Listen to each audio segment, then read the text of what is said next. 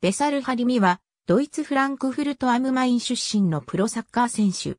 コソボ代表。ポジションは MF。ユース年代は、アイントラハトフランクフルト、SV ダルムシュタット98、1、FC ニュルンベルクの下部組織でプレー。2011から12シーズンに、ニュルンベルクのリザーブチームに昇格したが、トップチームでの出番はなかった。2013年7月12日、VFB シュトットガルトのリザーブチームに加入。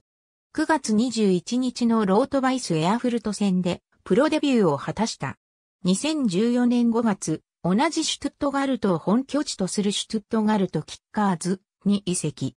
シーズンを通じて主力としてプレーし、2014年11月には3リーガの月間 MVP に選出された。2015年7月12日、ブンデスリーガの 1FSV マインツレーゴと4年契約を結び、直後に2リーガの FSV フランクフルトにレンタル移籍。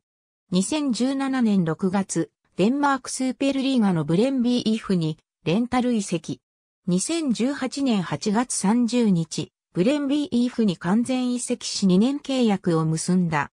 2019年9月2日、SV、ザントハウゼンに2年契約で完全移籍。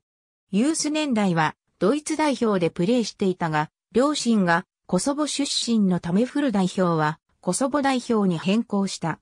2015年10月7日、コソボ代表初招集。赤道ギニアとの親善試合にスタメン出場しコソボ代表デビュー。2017年11月13日のラトビア戦で代表初ゴール。ありがとうございます。